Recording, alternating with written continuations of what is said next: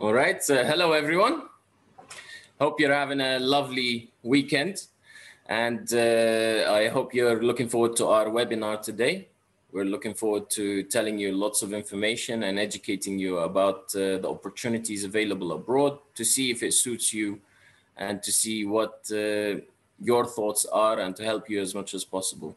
So MedLink students, our organization, our team, our advisors, our students, our doctors have gathered today to provide you with all this information, to guide you and give you all the available possibilities that are available for students who would like to consider studying medicine abroad, in English, of course, um, and uh, whether it's physical or online in all of Europe.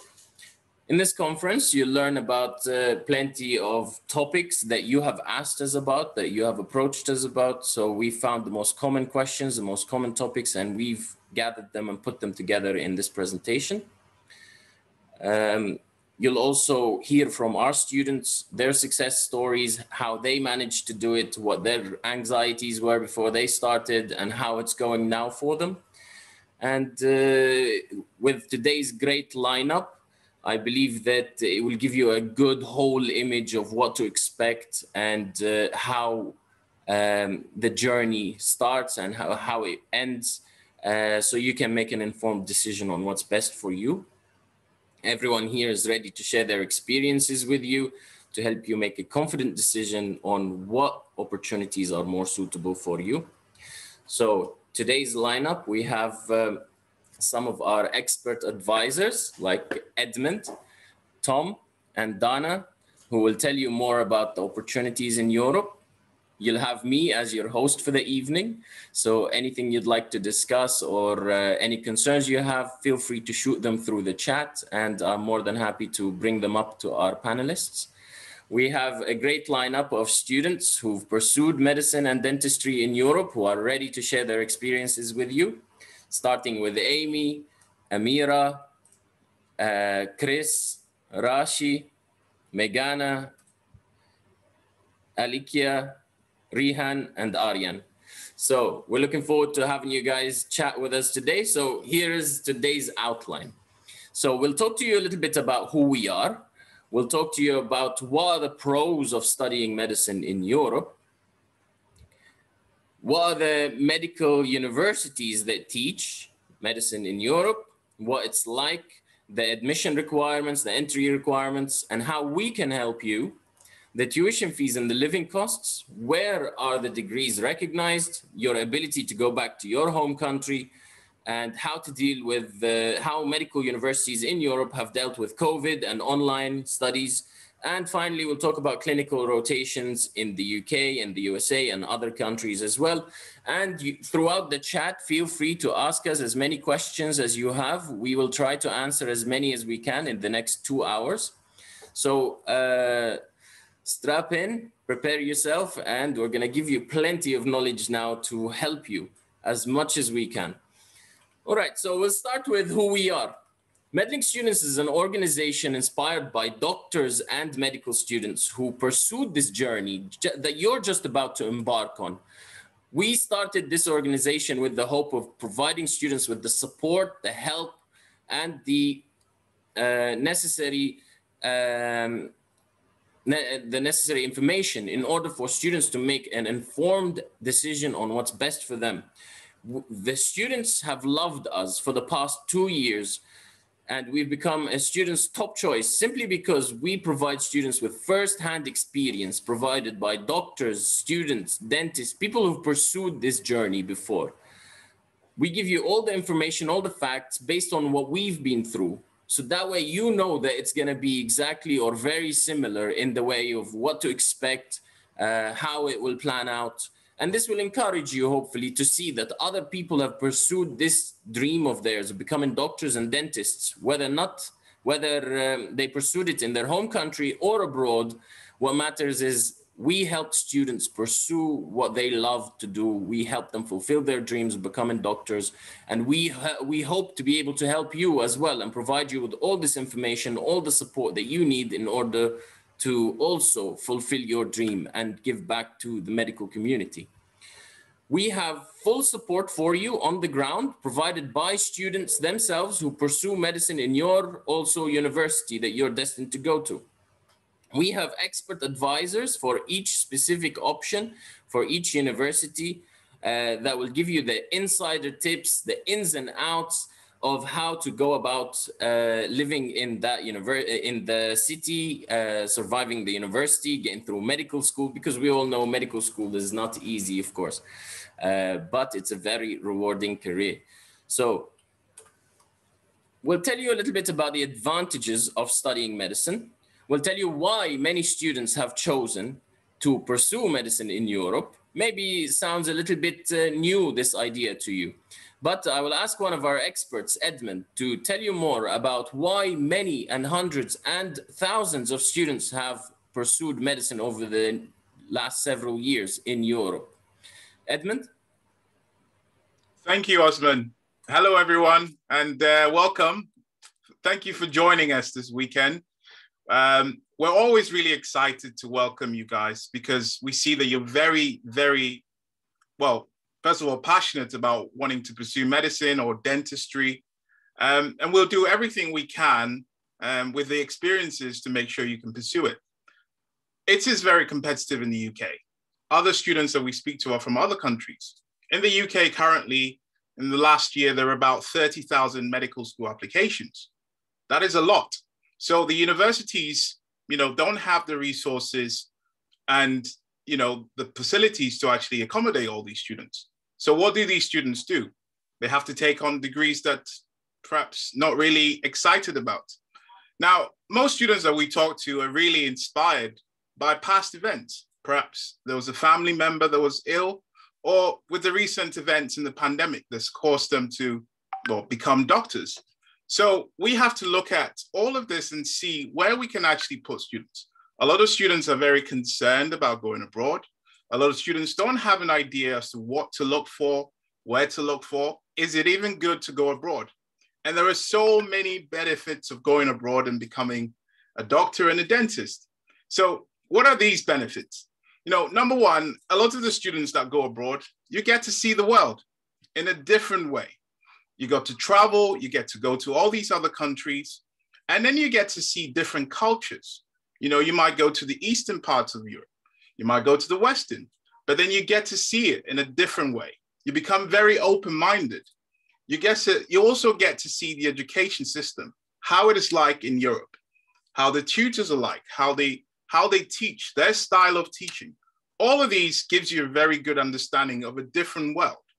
You also get to hone in on your language. You get to learn a new language. Some students who come to us, they actually want to learn a new language. Some students get to learn some. We have students in Poland who are learning Polish. But this gives you a very different way of learning much more about yourself. We have students that learn new skills or new interests.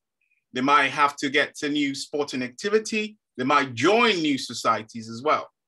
Something that we found out as well is that this gives you a very good career opportunity because a lot of the employers in the home country that you go back to, tend to see that the students that study abroad are quite open-minded. So coming back allows you to see, okay, this student has gone abroad. The student is now a doctor from a different country. Let's see what skills they've brought back into the country. So going abroad, whilst it might seem quite daunting at first, it does have its benefits. And this is where we come in to help you. We sit down with you, we, we speak to you about everything that it needs to actually go abroad to become a doctor or a dentist. And we're really proud of the journey that you come through. A lot of the students, they become quite independent because that's the start of this. And we help you really understand what it's like to go abroad. And what's good is these programs are taught in English, you know, and they're really affordable and you get the same facilities. A lot of students always think, am I going to get the same experience as a student in the UK? Absolutely. If not, you'll get more because you get to learn from other patients. You get to see, you get to treat other patients. You get to treat patients from different parts of the world. When you come back to the home country, you get to experience and you become very autonomous. You get to work in any hospital that's given to you, and you're very confident in what you do. So we're really excited for today, and uh, we can't wait to join you, have, uh, have you guys join us this year uh, in studying abroad. Over to you, Osman.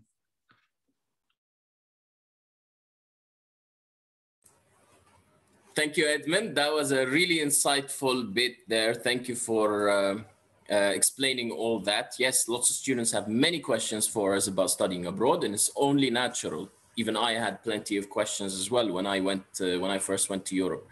Uh, we expect you to ask us all your questions. We we expect you not to be shy, so feel free to hit us in the Q and uh, shoot uh, shoot at us as many questions as you like.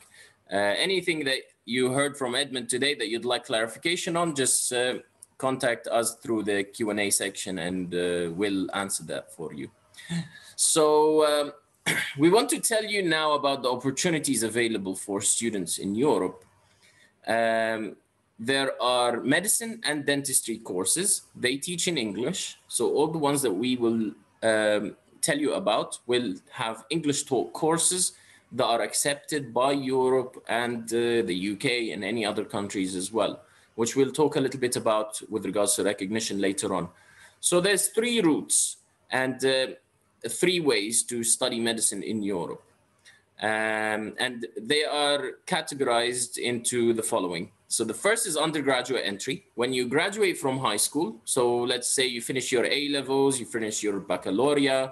Uh, when you finish your high school, you'll be able to go into the six-year medicine program or the six-year dentistry program or five-year dentistry program. Uh, for the graduate entry as well, the graduate entry is is toward is for those who have a bachelor's degree in something related to medicine or dentistry, such as biomedical science, nursing, and other subjects as well. And the final one is university transfers. So this is for those who usually will start at university and want to change. Let's say they start in Georgia, they change to Romania. So these are the main routes. Um, Edmund, would you like to expand a little bit about uh, what I just said? Absolutely. So uh, there are different requirements that are needed for students to pursue medicine. So for students that are doing undergraduate, a lot of the universities tend to put high school. But what is that exactly? from the UK, a lot of students study and do medicine. Um, they have A levels and they finish up to year 13 in, in university in countries like Canada, Australia, all around the world, they go up to year 12. So usually to study undergraduates, you need to have science subjects. So A levels in the UK usually, um, some universities will consider BTEC. Um, and then also some universities will consider other things like extended diplomas, but we have to take a look and see what you have. For the students doing graduate entry, this is a student that's done A levels and then be taken on a degree, say biomedical science. Biomedical science is a great degree to, to pursue this program. This is where the university takes a look at what you studied, transfers across the credits that you've done and the modules, and allows you entry into a higher year meaning you end, end up doing as less as four years even. Um, and then the transfers are students that are already studying medicine or dentistry and wish to transfer somewhere else because the experience that they're facing in one university isn't fulfilling what they're looking for. And again, what's required is the transcript, is what they've studied, whether they've done the first year, second year, whichever the year they're in, we can help them transfer to another university that will fulfill what they're looking for. So for undergraduates, you're looking at A levels. Sciences, biology, chemistry, or physics, or whatever you have, let us see, and we'll see where we can best help you. Brilliant. Thank you, Edmund. So plenty of opportunities available for students, plenty of routes. It's all up to you to choose the one that suits you best with regards to undergraduate or graduate entry so we'll move on to the next slide and uh, we'll tell you a little bit more about all these universities that are available. Now there's a huge comprehensive list of universities that is available on our website where you can go and see and uh, read all about the opportunities available. Um, we'll tell you about uh, the ones that we've included here are usually the ones that are most popular and we brought students from the most popular universities to come and tell you about their success stories today. So um, firstly, there's uh, Georgia, Romania, Bulgaria, Poland. We've had plenty of students who go to these universities and they choose them as most suitable for them. So I'll ask uh, Tom, our expert advisor from the UK, to tell you more about these options. Thanks, Osman. Yeah, so I think the key word here is opportunities. Uh, whatever grades you've got, whatever your financial situation, there will always be opportunities in Europe. And this is one of the brilliant things. Obviously, if you're a student coming from the UK, you're used to having to get those set grades and having to compete for these very limited spaces. With Europe, the choice is much more with you. The power's in your hands rather than theirs. So you get to choose, you know, based on your budget, based on what kind of cultures you want to explore, and based on the kind of education you want to for you to be delivered to you. Um, it's a fantastic experience wherever you go. Um, but ultimately, as I said, the decision can be yours. I mean, we've got a list here, as you can see, of some of the most popular universities. Uh, but the reality is there are just so many more that are all offering uh, extensive English taught medical and dental courses. Um, and it's just about finding the right one for you. And that's what we're here to do. We're obviously assessing these universities as well ourselves to make sure they're up to that quality and that standard required for our students. So we're here to guide you and to help advise you, but ultimately it's all up to you. You make the decision on where's best for you to go, and we'll help you every step of the way. Um, and uh, I'd like to ask our um, student Alikia here to tell us a little bit more about her experience and how she's found it. Uh, yes, uh, can you hear me? Yes, just a little bit louder, please, Alikia. Oh, sure, sure. Uh, so hello guys, my name is Alikia and like basically I'm originally from India, but like uh, I have come here abroad to Georgia to study medicine. Uh, so talking about my experience, like Georgia is amazing, like especially in the starting, as uh, Amy said that uh, we are very scared and we are inquisitive as to how excellent with the medical education system there would be in another country because we know the medical education system in our home country, but not abroad. But uh, like when i reached here the first thing which like really captivated me was the nature and the people. Like the environment here is excellent guys. And the people here they're very friendly and like they're very helpful too so uh, like that's what we need, I think, basically, especially when we are away from home. And uh, especially talking about my university now that it has plenty of activities apart from the academics all the year, all the year long. So uh, I think what would grab your attention would be the scientific conferences, which is usually organized twice a year. And uh, they're really very interesting because uh, you can show, show off your uh, work throughout the year. Uh, and uh, in a six months gap. And then these things are also published in the abstract books uh, the, the, yearbook for our own university, which is very nice. And then there are research projects you could you can get involved in. Like there are certain trials which are going on in Georgia, and then you can be involved through your university. Uh, what helps a lot here is like the scholarship programs that they have, and it helps a lot uh, with the finances. And uh, like there are there's a lot of cultural exchange also like the language as Osman was talking about and Edwin was talking about, uh, the language exchange, learning the new language, knowing new people, that's the best part. So uh, if most of you know about IFMSA, like it's the International Federation of Medical Students Association. So uh, getting affiliated with such a big organization through our university, it's very like uh, interesting. They have certain exchange programs and like you can visit another country already being abroad. So that's the best thing. And also the main thing, the students in our university, they get involved in like quality assurance decision-making processes, like how the medical education for them should be and how it should be improved. Uh, also, there are funded activities like I myself have been a part of one of the projects recently, uh, and I had a chance to uh, go to Slovenia. So, like uh, that's that was a very good experience. And uh, apart from these educational activities, there is also a lot of tourism, trekking, rafting, and special clubs for you know like eat sports if anyone is interested. So, like the environment is certain like is such that there is educational activity as well as like apart from academics, there are other extracurricular activities going on. So like that was my experience. I'm in like now fifth year, so uh, that was a lot together, to be honest.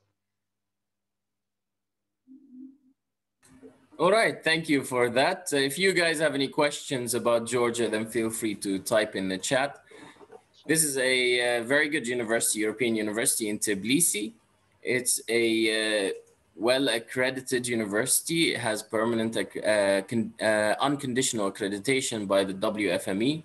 So it's a very reputable place compared to other universities in Georgia. So this is why we've selected this university and we've told you more about it because many students are intelligent, they go and research these options and make sure that they are going to universities that are reliable, that are accredited and uh, recognized in as many countries as possible with minimal problems, without any issues, without any uh, um, concerns that any medical council has raised upon them. So that's why we've hand selected universities to tell you more about because we know that these universities will be reliable for you.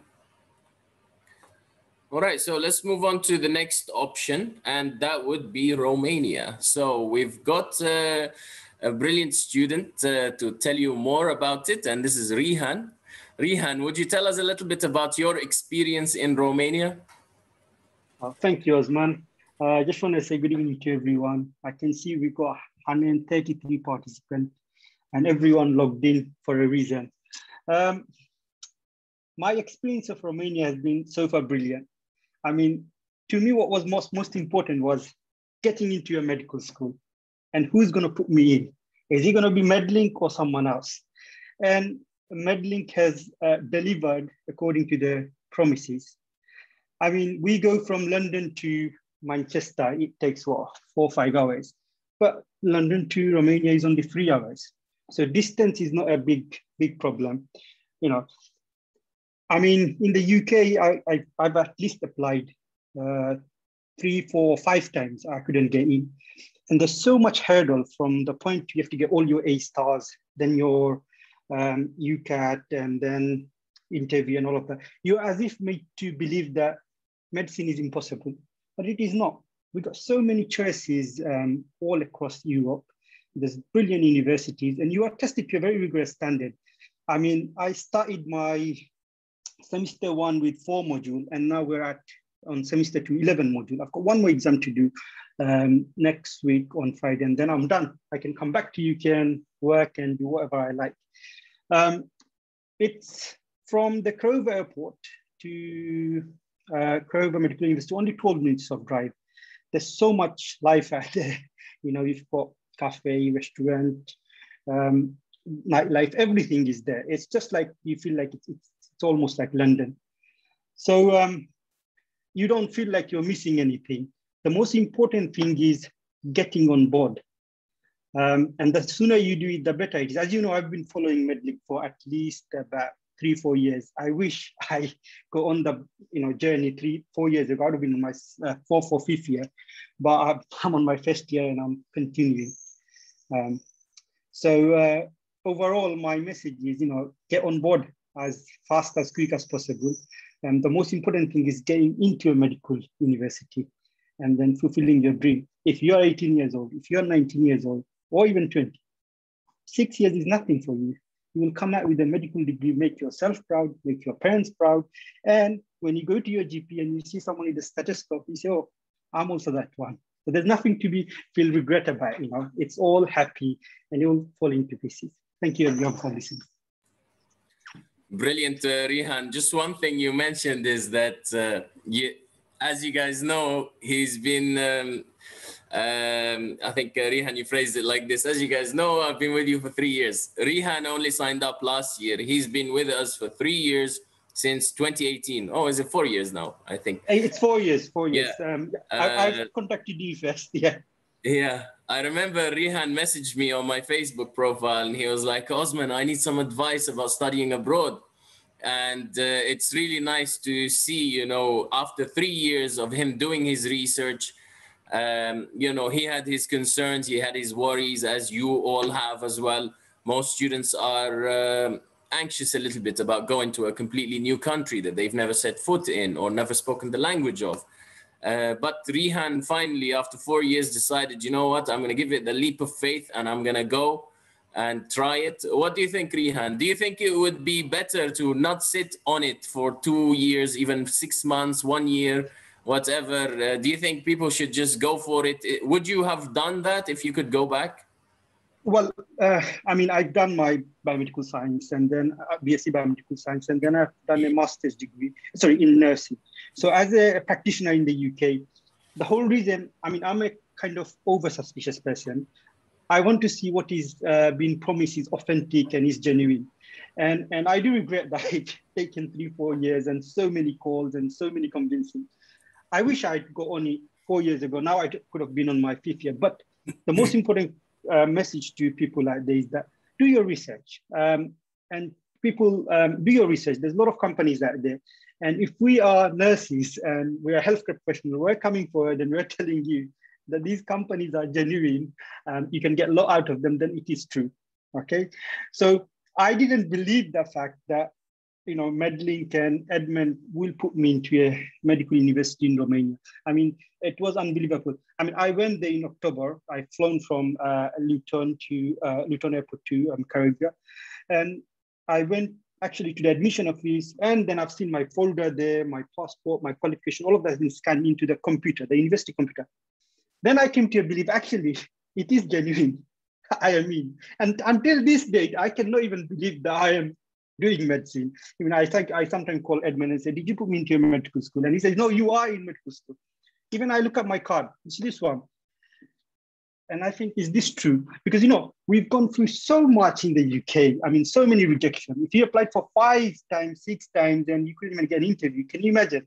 So it's, it's still difficult to believe that Medlink has delivered um, what he has promised. So my, my advice is um, do your research. There's so many universities and, and get in, you know, don't, don't waste time, um, but do research and fulfill your dream. You don't, it's medical is not, medicine is not impossible. You don't have, you don't need uh, three, four A stars. You still with reasonable grade, you can get in into good universities. Thank you. Thank you there, Rihan. All right, let's move on to the next one. So we'll be talking a little bit about Bulgaria. Uh, let's start with Chris. Would you be able to tell us a little bit more about your experience when you first started three years ago? I uh, yes, three years ago, I, I uh, came to Varna to study medicine. Uh, well, at the start, I was a bit worried, you know, because it's a new country, new culture.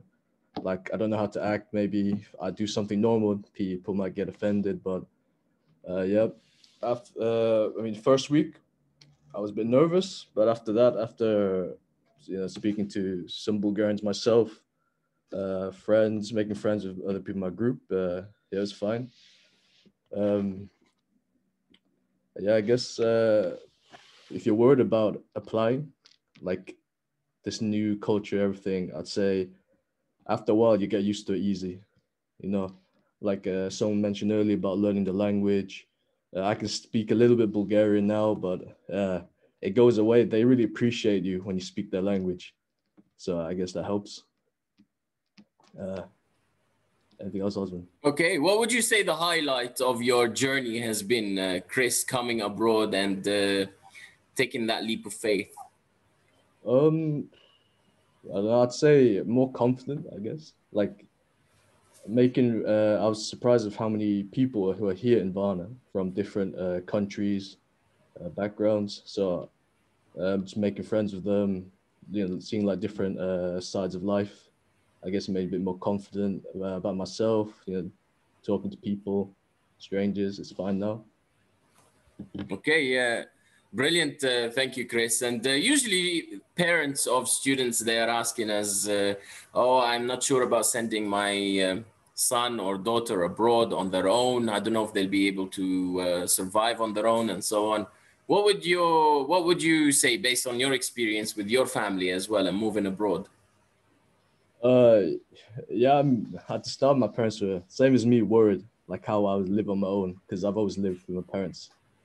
Um, I guess the first few uh, months were a learning curve for me for sure, like learning how to uh, live on my own. But um, I mean, my parents they regularly or tried to visit me before COVID happened, so uh, there's that support network there. Uh, I mean, if they were worried about anything, they, they could have contacted you. I think they did a few times, just asking on my behalf any problems that, that uh, but you were there to help me out when they asked. Okay, brilliant. Thank you, Chris. So let's uh, ask as well Rashi, who is uh, a top student studying in Plovdiv University. Rashi, would you be able to tell us a little bit more about your experience studying in Bulgaria and what it's been like? Yes. So um, first of all, hi everybody. um, my Medlink journey kind of started around 2019. Um, I was searching the internet like all of you are probably right now um, for information on studying abroad. And then I came across MedLink's website and um, I got in contact with Edmund and he answered all my little annoying questions um, but that year I didn't get in. I took a gap year instead because I guess I was a bit afraid, um, like coming abroad. And then uh, the next year, they all like Edmund stayed in contact with me, which is pretty great because I think, um, like if you look at other agencies, they don't really like come back to you and ask you like, hey, did you get into uni or like, what are you doing now? Like, are you still searching or anything? So Edmund asked, and that's kind of my reason of choosing Medlink as my agency. Um, and they even help you with like paperwork and applying and getting into the university and even with like exam prep uh, for the entrance exam. Um, but yeah, like studying abroad can be very intimidating, especially because it's a whole new experience. Um, but I really enjoy it. Like I also have a sister that's just graduated last year from Varna and um, she she was kind of like like the perfect image for me because I was like, okay, this is what I want to do as well when I go abroad. So I got kind of excited for that. Um, and yeah, she kind of helped me look forward to university and like uni life in Bulgaria abroad. You learn a lot of independence and like just responsibilities, cooking yourself, cleaning yourself, everything is just it's it's a great experience.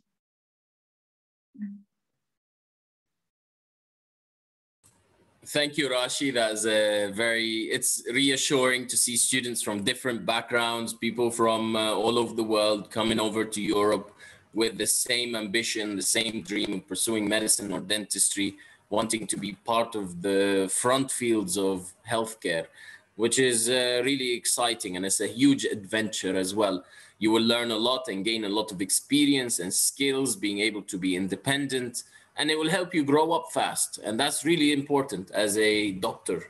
You need to grow up fast, you need to be responsible. And uh, these are the privileges, the, the, things that you should respect and uh, have. So that's really nice to see everyone here is very professional in the way they uh, they talk and the way they present themselves and uh, talk about their experience as well. Um, We'll move on now to the next option, which is uh, Poland. So we'll ask uh, our student from last year, Arian, who's a very good student as well, who's uh, been uh, really um, lucky to have the opportunity to pursue medicine there. Arian, would you be able to tell us more about your journey and how you found it?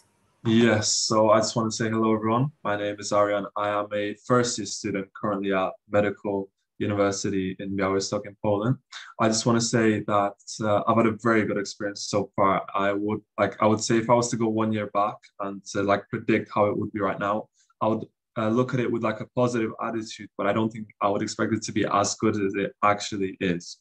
I want to say that Poland in general, why like it's good, it's because first of all it's very cheap in general. Like for about 400 to 500 pounds monthly, you will be able to get a very nice apartment, like really, really good apartments for that amount, like price. Uh, the locations where uh, we currently live, the good thing is that because the students are like very close to each other. So for example, the dorms, which I live in, the price is like 750 zloty monthly, which is 150 pounds monthly, right? And like for the facilities that we get, I think it's really good because it's very close to the university. It's 15 minutes walk, with, and also what happens uh, like is that everyone has like their own fridge, everyone has their own toilet. It's not really like that much shared. It's like they provide everyone to have like their own facilities in here. For example, I have, I have a fifth year Spanish roommate. He's like I've made really good friendship with him this year. I don't think I would actually expect to make such a good friendship with like a room which I think is a good thing. Uni is around, like I said, 15 minutes from the dorms. The good thing is the apartments where students usually uh, live in, they're very, they're, they're like, I would say, on the other side of the street. So the good thing is, like, let's say if you make really good friends here, your friends will literally be about five to 10 minutes away from you. So you're always like close to each other. You know, you can always like see each other, and that's not much of like a problem, I would say. Transport is also very easy because we live uh, 10 minutes away from the city center, and everywhere where we usually want to go is no longer than 15 minutes of walk. Like everything is just seems to be like, I would say, so close to where we usually live. Let's say, okay, sometimes like the, you know, you might have to go somewhere a little bit more far. So let's say 25 minutes walk. So you'll get a taxi. Taxi will usually be no more than five pounds wherever you want to go. Like, like I said, everything is really cheap. Also, we have like these little electric scooters and they, let's say for like a 20 minute ride, it would be like two pounds. So like I said, is honestly like for the price you can do like a lot of things. And i think you would be able to save a lot. For example if you were to you know study in united kingdom. City is two hours away from warsaw and you know like the capital city. I went there a few times. It's a very nice city but i would say like let's say if i was to study in warsaw i think because there's so much happening and it's so loud very busy it's I don't think I would actually rather choose to study there, but it's always good for like a change. Like let's say you go out like with your friends over the weekend, it's always going to be like an enjoyable time. The fact that I made so many good connections with people in the uni, I think uh, I got more involved this year because obviously this is like my first year, so I expected to do so many things, but because of the virus, the university, you know, it couldn't really provide us with all the events. However, because like I said, I made so many like friends, like good connections. We always uh, have like an opportunity to do like events organized by the students. or we would meet up at like the, their apartments, like very, very big apartments. Like I said, because some people like come to this uh, university to Poland, there'll be like countries like, let's say Norway. Norway is a very, very rich country. So these people will have like these amazing apartments and it will literally cost them no more than 600 pounds per month. And like for that amount, they'll have really good like um, places to live. So, like I said, it's a shame because I didn't really have much to do this, you know, like um, like I said, this year in the university. But what I can say from my own experience is that the university tries to work with the students in general rather than like you know always going on by like the rules. And like they're actually not so strict. Like like i said they try to like understand the students. They're often like quite lenient which i realize. I don't think much uh, many universities will be as lenient as like they've been with us this year. Like they've been really, really tolerant. I'm actually quite surprised that they helped us a lot. They obviously won't be like that with everything, but considering like all the things we've done, we feel re- I, I personally myself feel really grateful. I feel like from my experience, like going to school in the UK and like the education in general, what I remember is everything would be very much like, oh no, th- these are the rules and you can't, like nothing else. It's like the option, like it's just rules. And if you don't do well, then whatever, like you just fail and everything. But I feel like um, in the UK, they definitely won't be as lenient as, let's say, if you were to study in Białystok, which is where I'm currently studying. So I feel quite lucky, you know, to be where I currently am, and like have the opportunity to, like, you know, uh, like like I say, if I if I personally had the opportunity to go like to other like bigger cities and like more known, because I have friends, for example, who study in Warsaw, and the impression that they gave me is that Warsaw is very strict, like crazy. Like so, you know, I would actually much rather stay where I currently am. And I'm just happy with the, you know, the location in general and like the way I've settled myself. I've also I've also realized that people like here, like from the old years, are were actually very helpful. There's like they made us feel very welcome, surprisingly very helpful. Like showing us around the city and like uh, you know, like where to find everything. It's you know, the one thing that I really like is that all the years, it's not like, okay, first year hang out with first year, second year, it's like, it's not separated like that. Like actually, if anything, it's actually very mixed like I got to meet a lot of the old years and like once like they even like invited me like I said because you know I tried to get involved. All these the old years they invite invited me to go to like paintball and like these like you know cool things to do. Like obviously although it's the like you know we've got the whole coronavirus situation so there's not much to do. I would say students in general are very interconnected. For example everyone in IA seems to talk to each other although like you know we've not had the opportunity to go into classes and like get to know each other but like the fact that they're still making that effort to you know like talk to each other and keep in contact i think it helps especially with studies because i would say personally there's been like certain subjects which i struggle with and if i hadn't like seek the help from my friends which were actually quite open to help me I don't think I would have actually passed. So that's like a good thing. The university also has its own like hospital and like very close to the location that we live in with like modern facilities, which obviously helps us to get like a fun, further understanding in like and perspective into the medical field. For example, I remember we had like first aid lessons and they had like they had an ambulance in the room and i remember everyone was very surprised like how did they get an ambulance but you know it's like the commitment that they make is like really good for example in my situation i came to poland this year when i was 18 right so i was one of the youngest people i realized that like a lot of people in my year slightly older than me most of them probably in their 20s you know there were also people around my age even younger but what i'm trying to say is that I never really put myself at a disadvantage just because I was younger, right? So let's say there are all these people that come come from like different countries like Norway, Sweden, Germany. They're actually very open to get to know each other, like the cultural differences. I think that the I would say that the thing that massively helped me is I came with a very open mindset. Like where like I told myself at the end of the day, everyone's going through the same thing. Everyone's going to, you know, stress because it's their first year, they're not familiar or like let's say they'll put like themselves like these negative like deceiving thoughts but when when you actually come here and you start talking to everyone you, you realize that it's nothing really what you kind of thought it would be like like oh it would be this and like you know i think it's mainly what it actually like um how do i say that? Uh, what it depends on is the person. Like what kind of like how how are you like what is your approach to all of this you know?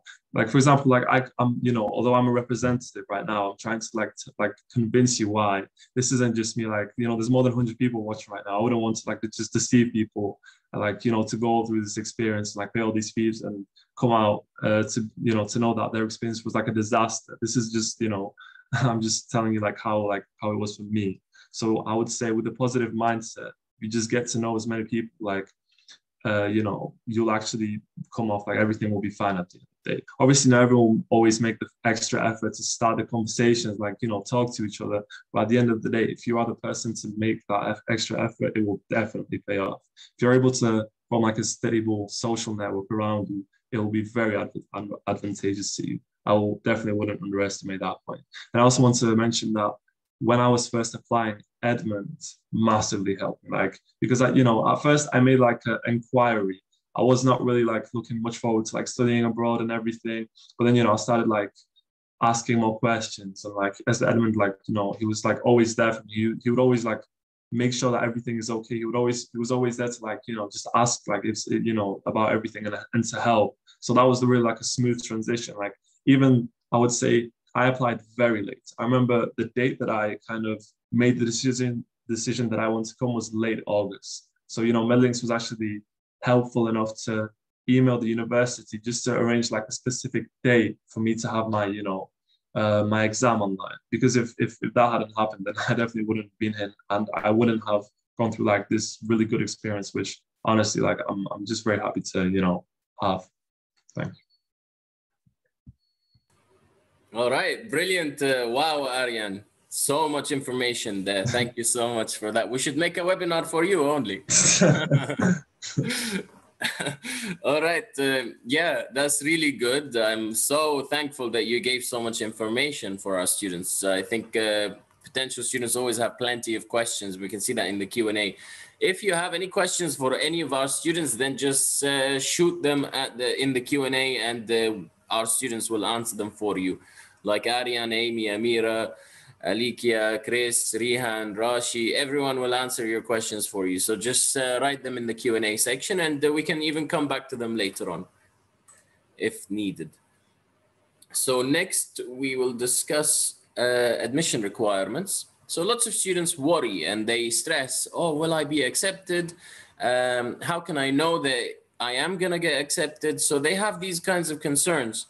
Um, so I would like to bring in our expert advisor to tell you more about this and uh, talk to you about how she discusses with students their ability to um, get entry in Europe and how we help students maximize their potential of getting in. Dana, are you there? Yep. Good evening, everybody. Uh, thank you for joining us. And I really hope today inspires a lot of questions and ideas where we can give you a lot of information. I can see the Q&A, it's, it's shooting so many questions for us and we hope to answer all the questions for you. So my job here is to speak to students to help you choose the right university. We focus on trying to see what you have for qualifications, your high school diploma, or whether you have a graduate degree like you've studied biomedical science or anything related to uh, biology or chemistry. We take a look at your transcripts. We try to help you find the right university based on your qualifications. And we also focus on uh, knowing where you come from, understanding your culture, because we don't only focus on it's very important to go and study at a top university and have the best education possible. But for us, because we have been our doctors and medical students that have been speaking, uh, thanks to them sharing their experience, we understand how hard it is when you relocate, and it's very important to help you find the right place. So we try to understand where you come from, your culture, and when we get on the call with you, we take a look at your file, we assess your uh, high school, and then we start discussing with you the universities that you are qualified to apply to. And then also we try to describe the university, the city and the country that you are going to, to ensure that we and you, we are picking and hand picking the right university for you, where you will have the best education possible, graduate as a phenomenal doctor, at the same time, have a very nice experience and enjoy the six years you're staying with us. So usually students go on the university's websites and they try to find the requirements and how I can apply. And it's usually overwhelming for students because it's a bit complicated. Some most of the universities require the uh, basic sciences, biology, chemistry, math, physics, and some students don't have these. And at the same time, it's also confusing for students because each country has a different system in the high school. There's a British system, the A levels, there's American uh, high school, there is IB, there is uh, Middle Eastern uh, high school uh, system. So each country has its own system. What we do here is take a look at your transcripts and advise you in the best uh, direction. And we will tell you which universities you meet their requirements and which universities you qualify to apply to. Now, when, when you bring your transcripts, first of all, we help you find the right university. If you don't have the basic sciences, feel free to get in touch with us. And of course, we will help you find a university. Some universities might ask you to have an entrance exam. There's an entrance exam that is usually MCQs, or it could be an interview for 20 minutes, asking you questions related to biology, chemistry, the sciences, and asking you about yourself.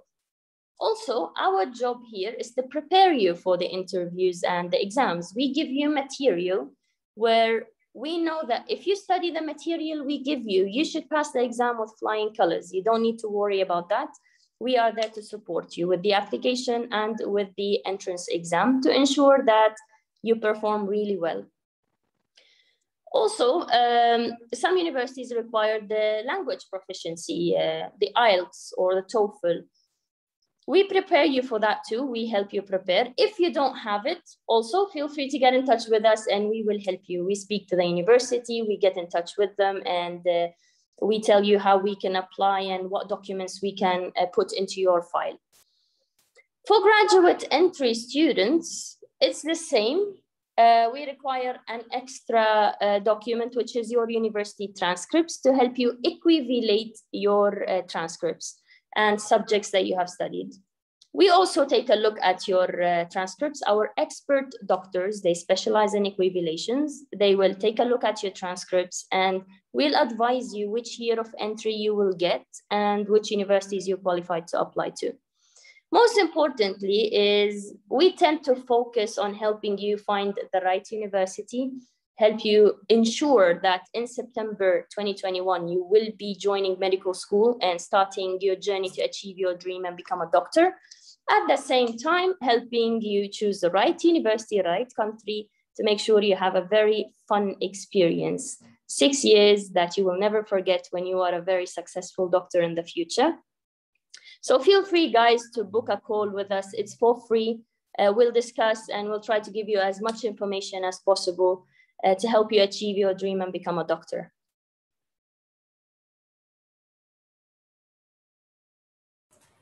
Thank you, Dana. That is a very good, comprehensive uh, talk about admission requirements. This is what we do to summarize. Our job is to, the reason we do what we do is because we want to help you secure your entry into medical school. We want you to get in. We want you to have the least possible stress, the least possible uh, um, agitation with it because it's a very tough process. That's what we're here for to make sure your file has the produces the best possible outcome for you. We will make a very strong file for you and a very strong case to the university. All right, so uh, let's go on to the next slide, and that's how can we help you? So I'd like to bring in our expert advisor, Edmund, who can tell you a little bit more about this and uh, share what he shares with students on a daily basis on what we do and why we do what we do. Thank you, Osman. Uh, it's been really inspiring listening to everyone. Um, so, when we have an inquiry, um, one of the things that we want to do is really get to understand the student. We want to get to know you. We want to understand really what's inspired you to pursue medicine and what's what's inspired you to pursue dentistry. We want to understand what's motivated you and what your budget is, what you're looking for in the universities, what things that you would want, what type of city you would like to live in. Because we get some students that might be really shy and want to go to a smaller city, you know, and we have other students that, you know, the life of the party want to be in a bigger city because that matches their personality. We have to understand all of this. And then we discuss with you, perhaps your parents as well, which options would be most suitable for you because every student that comes to us will have different requirements and what they would like from a university. Now, only, not only that, we want to ensure that even afterwards, we're not just going to throw you in the university and hopefully you survive out there. We want to ensure that you get the support that you need there. We come and meet with you. We will also ensure that you get the support you need on the ground throughout your years of study before you come back and then work as a doctor or dentist. The consultation that we have with you is free. And we also provide you support on the ground throughout so that you don't have to worry about calling your parents every single week. And we know some of you students are mature and you can look after yourself, but going to a different country requires settling in. You've never been to these countries. So we want to make sure that every step of the way we're, we're guiding you through it so that anything that you need is there so that you can study and concentrate on the studies. All these students that we've spoken to, Ariane, um, Amy, all of these students were quite anxious, but they went there with an open mind. So let us speak with you, whatever the case might be. Maybe you're thinking about going abroad. Maybe the thought is there, but you're not sure yet. Let's speak with you and discuss how we can help you because it's getting competitive in these countries and the European universities are welcoming to all the students that want to pursue their dream. And we are here to help you along the journey. Back to you, Osman. Thank you for that, Edmund. Uh, that was very insightful. Exactly, that's what we're here for. Edmund's trying to tell you that we're here to help you, to make sure you have the best possible outcome, and hopefully so you can get into medical school. Because every year, many students give up on their dream of becoming doctors or dentists and uh, then they decide oh you know what? I'll just settle for science or biology and that's what i did as well and uh, i wish i went to europe when i was 18 instead of postponing it and sitting on it and not making a decision because it's very tough to make a decision but that's what we're here for to give you all the information so you can make the best and most informed decision on your future on what's best for you so you can graduate sooner, become a doctor sooner, and be competitive once you uh, graduate, enter the hospital, start to practice, because we love seeing our graduates uh, start working.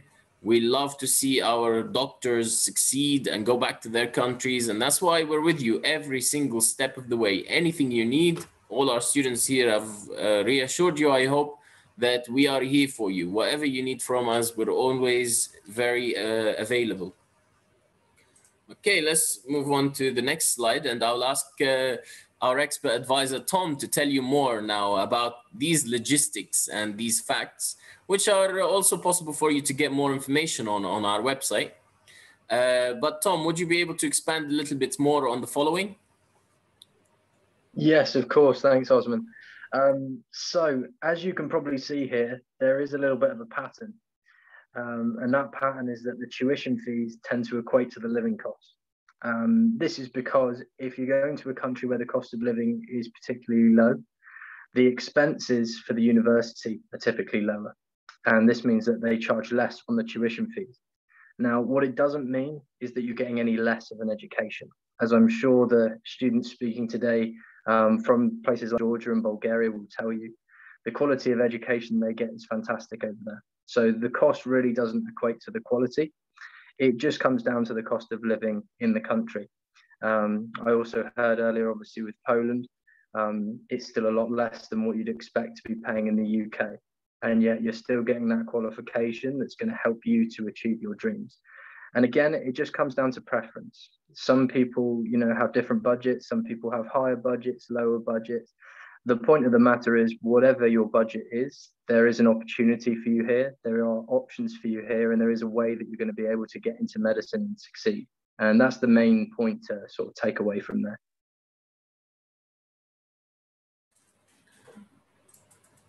Thank you, Tom. That's very good. Yes, um, tuition fees and living costs vary, and a lot of students ask us about them and how they can fund their education. Now, the majority of students usually self-fund, so usually they will take uh, money from their parents or work a part-time job, save some money, or uh, find some support uh, from people that would be able to support them financially until they graduate and then be able to return their money, the money back to their parents, their grandparents, uncles, or whoever. Uh, but again, if you would like more information about this, we can always help you. The great thing about Europe is that you can live a very comfortable lifestyle for such a small amount of money that in the UK, for example, you would get dorms that are uh, as small as chicken huts for thousands of pounds. Uh, whereas here in Europe, you get a full apartment with a you know, plasma TV, huge plasma TV, very nice, uh, brand new um, furniture, and it's so comfortable and nice for like 300, 400 pounds. Uh, you can get something really, really nice and uh, uh, comfortable for you as well. So you live very nice and comfortably and be able to enjoy your years abroad rather than uh, um, live in a small area, small space and share. But you can do if you want, and you can save a lot of money by living in a shared space uh, like hostels, for example, or dorms as they're called in the UK. Um, uh, so we'll, uh, if you have any more questions about this, feel free to type in the chat and our students will ask you more, uh, will answer them for you. So um, we'll talk a little bit about how universities have been coping with COVID because a lot of students ask us, is it safe? Can I go abroad? And uh, this is a very common question. But despite COVID, despite uh, pandemics, it's even though it's a huge insight for us in the medical field to see something firsthand like this, you know, something that we've never heard of before, never seen before uh, in our generation. Uh, that happened hundreds of years ago, you know, pandemics and uh, epidemics. So it's really fascinating to see and to see the world react to it and learn how to deal with it and adapt to it. And that's what uh, is amazing as well in the medical field. The medical field is a constantly advancing uh, profession. Every day there's something new. Every day there's research. There's new updated information. That's why it's so important to stay up to date uh, with the latest information, news, and so on in healthcare and you guys have that privilege with having access to universities that are able to adapt and um, be able to continue teaching medicine despite all these social restrictions and not being able to attend in person like Ariane and Amy talked about with online studies. So I'd like to ask Amy, how have you found the online studies during the pandemic for your university? Okay, hi again, everyone. It's me. um, so online learning has obviously, I would say that like online learning can never like fully replace offline learning. Um, at first, it was a lot of getting used to like the format, like use of new technology.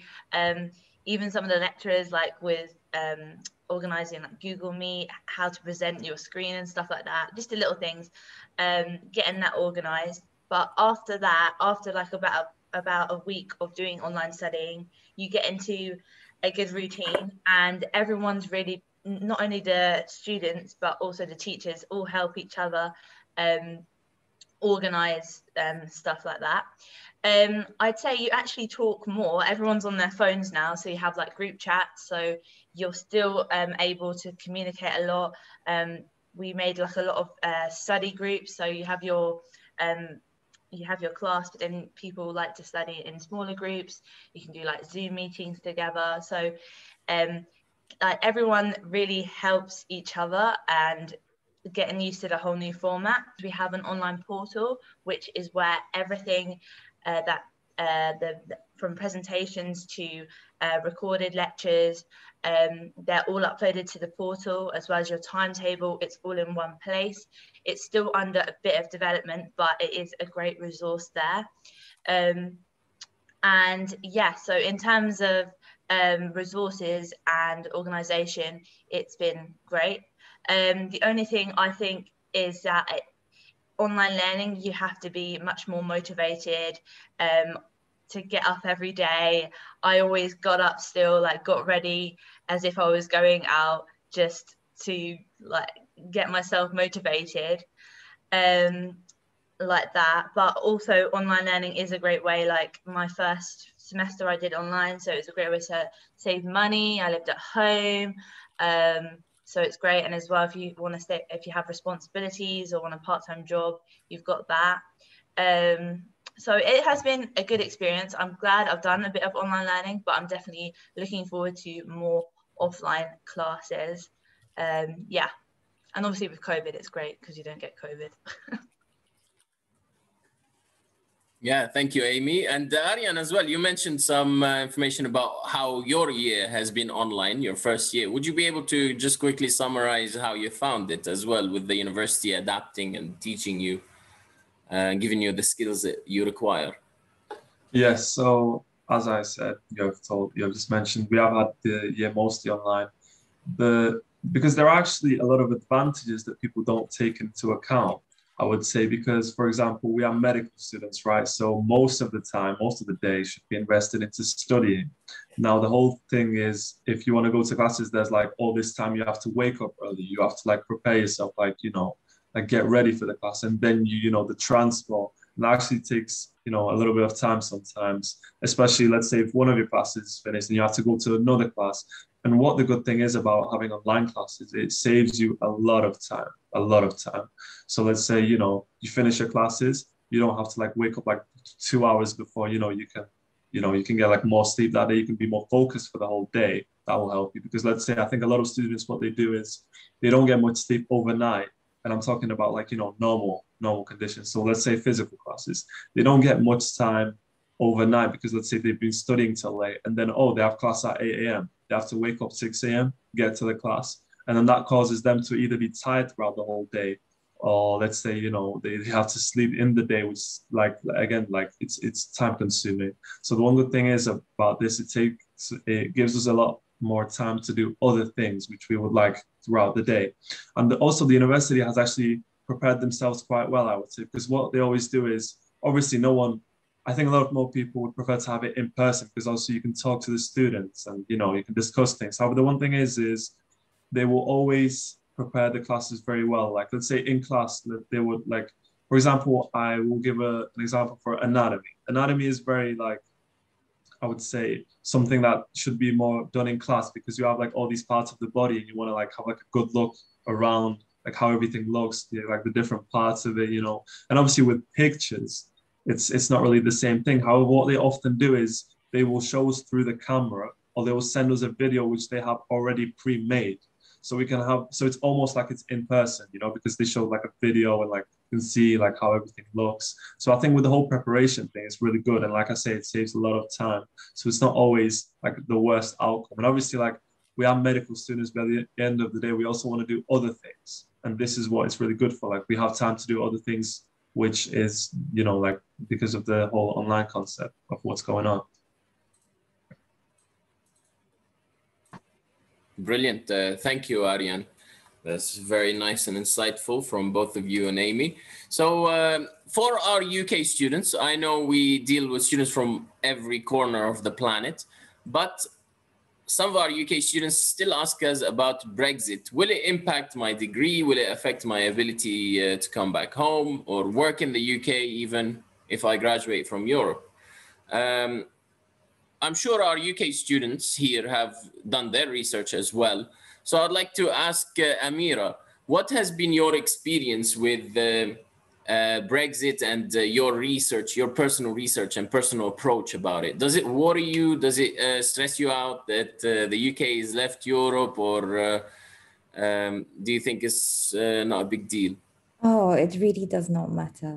It really doesn't. At the end of the day, for example, with UK, with medicine, you have to do your UK MLA. Everyone has to sit for it. So it doesn't affect us.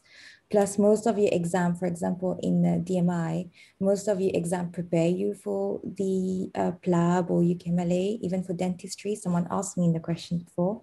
We have the ORE exam to do. So the CROC exam that we do prepare you for it, I'm not stressed about it. I mean, it it's you just move, you just finish your exam, you have to go, and it's the same. It's just another exam. You just go for it, and you shouldn't be worried. You still have jobs available. Um, if you see there's still a lot of students who are going back and coming, they've done the research. My research mainly says that it doesn't affect us and it doesn't matter. Just apply for it and you know fulfill your dream. Brilliant. Uh, thank you amira. Um, so just some questions that have come up from the forms that students submitted to us. Will there be any changes with admission requirements? No there will not be. So it's not different for uh, students from different parts of the planet so much. So it's quite uh, similar uh, and tuition fees and uh, living costs do not change based on your nationality. So um, in many countries or many universities, um, so basically it'll be very similar still and not so different. The only difference is that uh, British students need to make a student visa when they come to Europe. And uh, many students from our conference here have made a student visa to go abroad. So they can tell you about their experience. So um, Medlink were great. They gave me a full document with step by step what I needed to do, like regarding the visa process, making an interview. It was um, pretty simple. The only thing I had a bit trouble with was COVID insurance, but that's because of COVID. um, hopefully, COVID um, will be over soon. Um, but yeah, it's pretty straightforward. It's just another, just a little step that needs to be done because of this new law. Brexit. yeah, brilliant. it's not so hard. Uh, exactly. It's just an extra step, maybe a little bit more effort, but we'll guide you and help you with that. Rihan, also you studied in Romania, so you had to make a visa, right? How did you find the process with the embassy in London and uh, doing the, the this paperwork?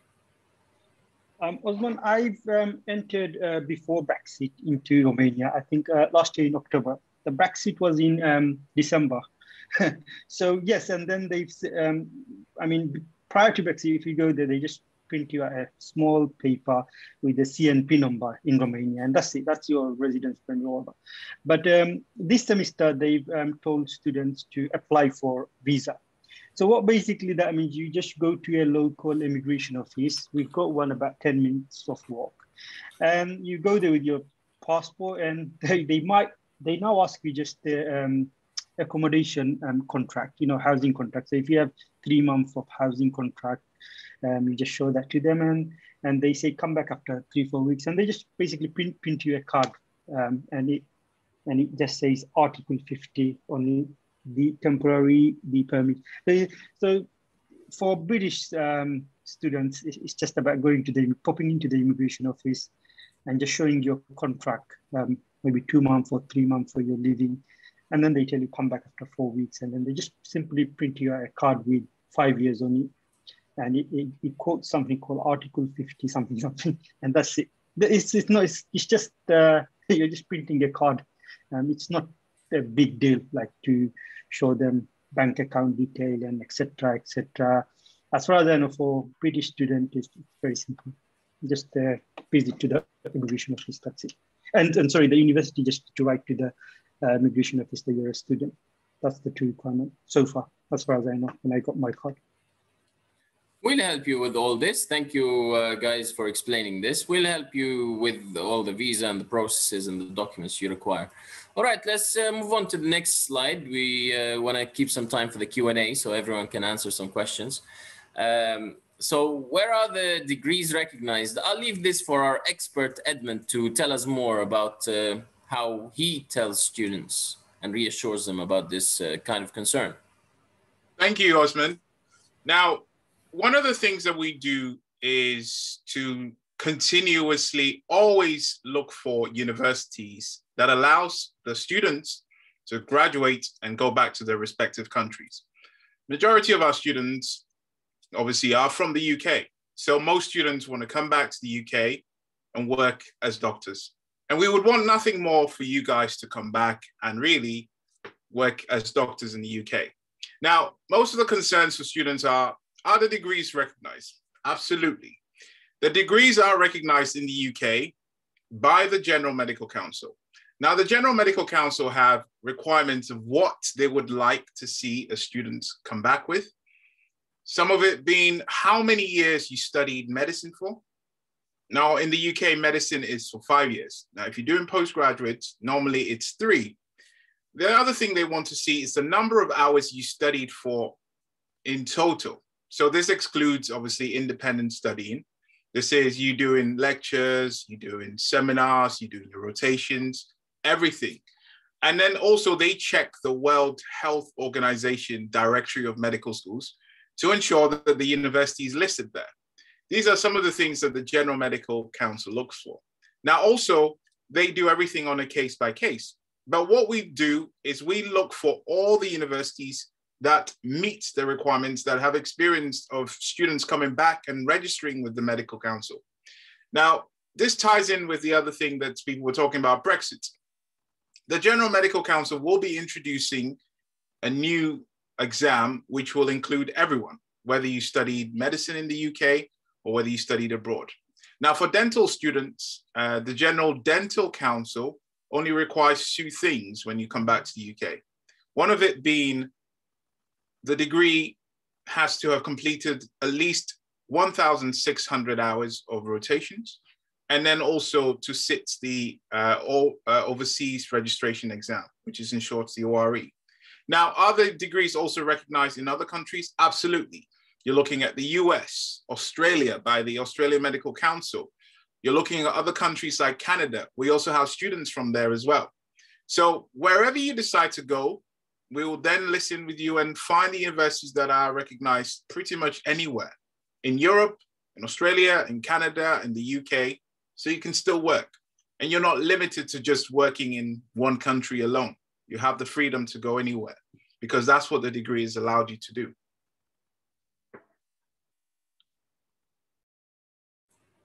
Thank you, Edmund. Yes, so the universities that we work with are internationally recognized. We will advise you based on where you come from about the recognition, uh, the process required. We have experts from every uh, corner of the planet, people from the UK, from the Middle East, from other areas as well, that will advise you and give you the guidance you need so you can make an informed decision on how possible it is for you to go back home. And of course, the priority will always be for us to advise you and give you information on options that are available for you to be able to go back home and succeed and be able to register as a doctor.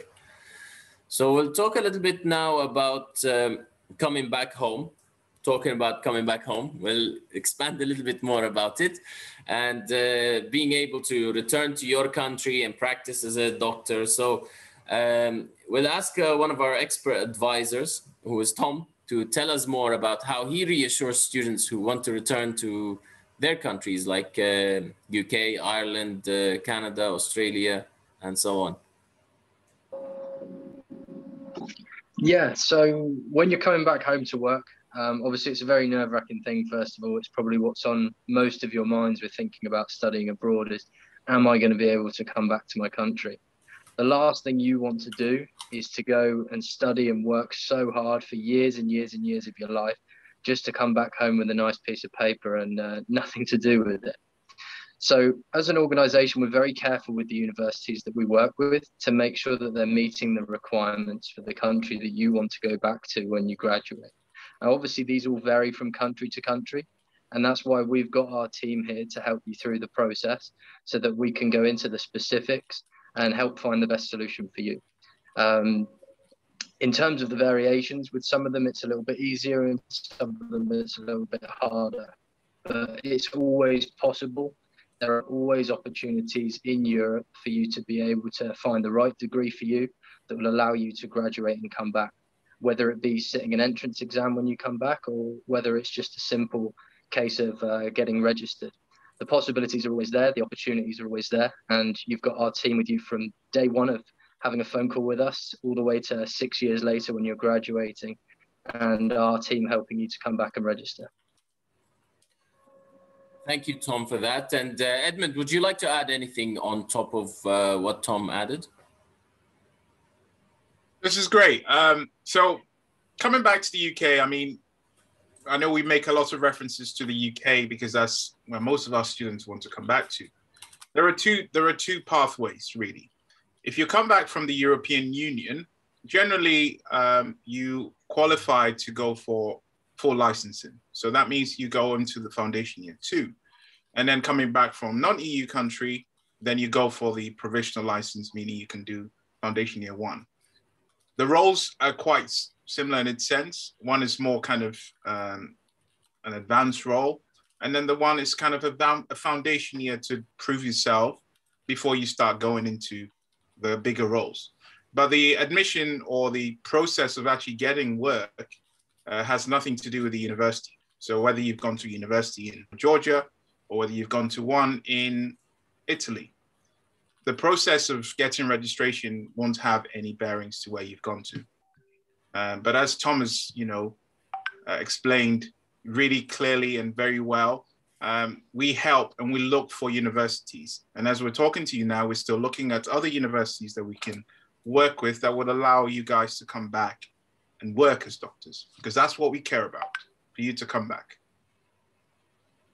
Brilliant. Uh, thank you, uh, Edmund and Tom. Yes, the priority is to be able to help you come back home. So this will be something that will be discussed with your expert advisor to give you as much guidance as possible on it. Uh, so we'll talk about the clinical rotations in the UK now. I will ask um, Emma, who has been helping many students from our uh, student base, uh, secure their places in Barts Hospital and other hospitals across the UK. Hello, how are you? I'm Emma. I have uh, done my clinical rotations in the UK as well. So this is how I began helping other students. Um, the clinical rotations in the UK are brilliant, they're fab. And the most important thing is that you can actually converse with the patient in your own language, um, in, in English, um, if you want. And actually, there's a lot of foreign patients that you can get to talk to in your own language. So there's French, you meet Italians, loads of Italians, and uh, people from all over the world that you can actually um, talk to. And when you're doing clinical exams, uh, examinations, there's different departments that you rotate through. So emergency medicine, um, there's internal medicine, there's surgery, obs and gynae, pediatrics, there's rotations in psychiatry, neurology. Um, there's so many different choices for you to do. And there's a specific um, uh, amount of clinical rotations that um, you're required to do. And um, Medlinks will guide you on that. And so what the hospitals do is try and follow the clinical rotations set by the university as close as possible um, so that you get your clinical requirements for the GMC.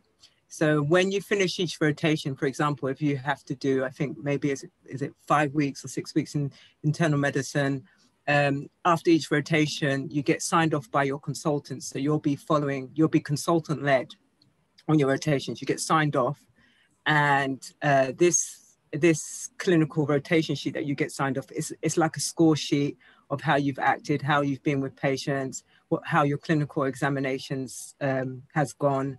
Um, and you get this sheet and you give it to your clinical preceptor. Who um, keep they keep a copy because sometimes GMC after each rotation uh, they can call.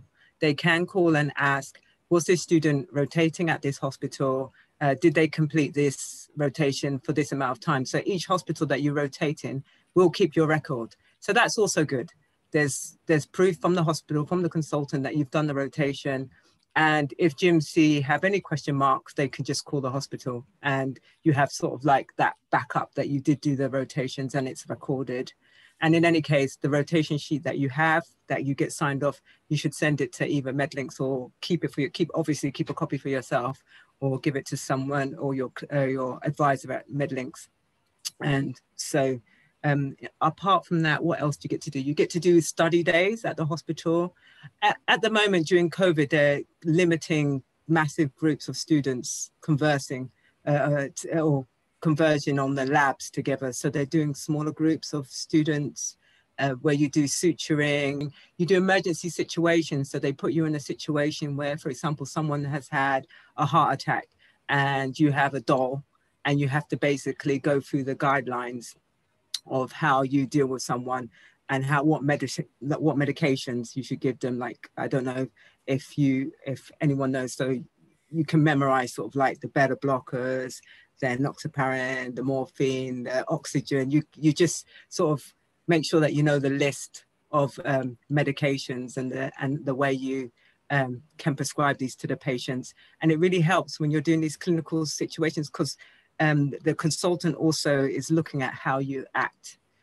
This may be not be in all hospitals, but they look at how you act and how you interact. You don't have to be brilliant and you don't need to know everything, but just as long as you get in, get stuck in, even get it wrong. I mean, it's a doll most of the time. So uh, get it wrong. If you get in and you practice, you get so much confidence and it's fun. It's it, you get to meet other doctors, you get to meet uh, other consultants, you make friends, you get contacts, you know, that will get you into other hospitals or actually get you abroad. I met a few Australians that gave us, gave me some guidelines of where to go in Australia. So uh, if I want, well, when the COVID restrictions is over, I can do some rotations in Aussie, which I'd love, or Canada. Met a few Canadians at the hospital when I was rotating. So you'll you'll get to meet so many different people and get so many different opportunities. And if there's something that you really like, like I liked um, uh, like general practice medicine, if you want to do like an elective, if that after you've done your main core rotations, you can do extra uh, GP rotations. You get involved in OSCEs. So if there's any kind of exams going on for doctors who are for doctors who are doing a, do, doing any kind of exams or OSCEs, they always ask you, the hospitals ask the students to get involved. So this is your perfect time to actually practice OSCEs for uh, PLAB 2. So you get loads of practice. You may get it wrong, like I said, but at least you know what to expect when you when it's your turn. And um, and for, in terms of PLAB one examinations, sometimes they give you like little guidance on what you should read and and and and documents what you should uh, revise. So and last thing, you should know your clinical examinations, your basic clinical examinations, uh, RESP, cardiology, abdomen, so gastroenterology, know your basic neurology. You should know your neurology for surgery because the surgeons normally ask you. And um, just make sure before you start each rotation, a few days, a week before, whatever, go over each clinical rotation, uh, cl clinical examination, the basics, you know. And there you go. Thank you, Emma. That was very informative. Uh, one question we have in the Q&A section is, uh, do you usually have to pay extra fees to do your clinical rotations? Yes, of course, as you would expect, the hospital has its own costs as well for hosting you and looking after you. Uh, so there, you should expect uh, some fees as well that you would have to pay to the hospitals directly. Uh, would you like to add anything to that, Emma, or do you think that answers the question? That answers the question. All right, brilliant. Okay, so if you guys would like to also ask Emma any questions, then feel free to uh, write them in the Q&A. We'll go to the Q&A section now and uh, answer all your questions. There's plenty of questions that have come up. So um, let's see. Uh, the first one I see here that I think uh, Amira can answer would be, um, how do students manage with CROC 1 and CROC 2? So how do they get on with it? What do they do? Now we'll explain what CROC is uh, Amira, and uh, then we'll go into how people prepare for it and what we can do to help students. Okay, so CROC 1 is a state exam that you do to be able to go into your clinical years. So it's basically an exam for your whatever you studied for the year one, two, and three. It's easy if you study. If you've been studying throughout your three years, it's easy. For those who come to graduate entry, you have the background already. Uh, sometimes you'll find it a little bit hard in terms of memorizing or remembering the little details we tend to forget. However, you do get classes, you do get extra classes. For example, on Saturdays, anatomy classes are provided by Dr. Igor. Um, we have Medlink that provided um, classes for CROC 1 where I am teaching as well. And some teachers, most of the exam, they're very nice. What they do is they give you question for CROC 1 and they tend to give this as an exam uh, for the written part and then they ask you question for the oral part. So they kind of prepare you for this. And CROC 2, as you can guess, CROC 2 will be an exam for your clinical years, which student like way more as this is something related to you, to you, what you want to do. So with this, it becomes a bit easier where you don't tend to need tuition so much or classes. However, teachers do ask you a lot of questions. They grill you. I have this one teacher and she keeps asking lots of detail and give you little tricks. And they tell you for CROC, this is what they do. So as long as you study, CROC is very easy. I've enjoyed it, to be honest. I'm a weird one. I really do enjoy CROC that I'm teaching it now, but you shouldn't worry about it at all. Yeah, and also, yeah, Emma just wrote there, she has her tips and tricks. Uh, go to her uh, TikTok or social media, any, and then you'll see what she says about her CROC experience. Yeah, brilliant. Uh, thank you, Amira. And uh, just to mention to you guys, Amira was one of the highest scoring people on CROC 1 exam. Not to embarrass you, Amira, but uh, you have to get some recognition there. Uh, Amira is very good at what she does. And um, what happened is that the university has offered her a position to teach the younger years, um, the CROC 1. So uh, the student, the Amira has been teaching over Zoom CROC 1 uh, classes to show them the show the students tips and tricks on how to pass and how to ace the exam like she did. So well done, Amira, and thank you for that. Thank you. Thank uh, you so much, Asman. Okay, so uh, we'll go to the next question. I see for Chris here, there's a question that might be suitable. Um, will textbooks be provided? How do students manage generally by uh, uh, avoiding paying for textbooks and not having to uh, how, how do they do it in Europe? I'll let you answer that. Um, well, in Bulgaria, no, textbooks aren't provided by the uni fees. Um, in classes, you will have to buy like a workbook, but they're very cheap. Like uh, for us, it's the currency here is lebs. So one workbook's five lebs, which is about two pounds for the uh, English. Um, for textbooks, uh, you can there's many options. One is you can buy officially the textbook, which is the expensive uh, option. Second is uh, you can go to many uh, copy shops. they'll have PDF files of the actual textbook that you can print, which makes it way cheaper. And if you just want the PDF file to read from computer, uh, all the older students have it. Um, we have a Google Drive, which all the students have access to, uh, with every single textbook that the um, the doctors or the teachers that I recommend for us to use uh, when we study. And that's it. Brilliant. Thank you, Chris. Uh, usually, most uh, doctors and professors will provide you with a PDF version of uh, the textbooks, and uh, most uh, universities will also give you the information on their portal or online or in a USB stick. So um, that's not a big deal or something really big to worry about. Uh, I think you have more important things to worry about, like uh, passing your medical exams and gaining the knowledge and learning and so on. Uh, that's the exciting parts. Uh, okay, so do we have any other questions? I'm just looking now. If anyone has any questions they would like to answer. Um, oh, I see one. Is CROC for dentistry or for medicine? Amy, would you like to answer this one? Guys, I'm taking my CROC exam in three days. Um, so Croc is for medicine, dentistry, and I think even pharmacy. So yeah, that answers your question. And I'm doing Croc one on Tuesday, guys. So I'll let you know how it goes. Thank you, Amira, for your great classes. Brilliant. Uh, yeah, thank you, uh, Amy. One more question for you is, uh, what's it like doing graduate entry entering the third year? Oh yeah. So obviously graduate entry, it is like doing three years in one. So can you prepare for it? Not really. Like you can like maybe like revise notes from your pre- previous de- degree, but like I don't think anything can prepare you for like how much what like your workload that you're going to have um, but my advice is just to keep on top of all your classes keep organized and just take advantage of all that the extra classes that amira was talking about anatomy classes KROK prep classes don't just um, don't just put off KROK prep until the end of the year because i know a few students like didn't start doing KROK prep until the end of the year while while i've been doing KROK prep classes since november so all along the way. Um, but it's definitely doable. Like the university provides you with so much, so many resources and Medlink too. Um, in relation to Chris, he was talking about the textbooks and stuff. Don't waste money on buying like expensive books before you come.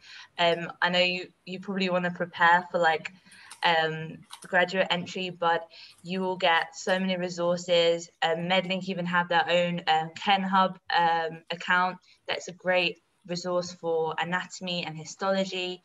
So there's so many resources out there. Just try not to be too overwhelmed by everything. Um, once you get organized and motivated, students in your class, you'll make friends, and it's great when you form like study groups, etc. Um, but yeah, it's definitely doable. And yeah, it's just going to be um, kind of an intense year. But once you get get it done, then you've compacted, you've saved yourself two years, which is really cool. And then you can start the fun bit, like your clinical years. So yeah, it's a great opportunity.